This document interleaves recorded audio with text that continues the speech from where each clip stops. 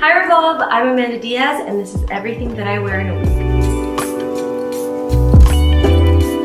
All of the outfits that I'm wearing in this video are shoppable on Revolve.com.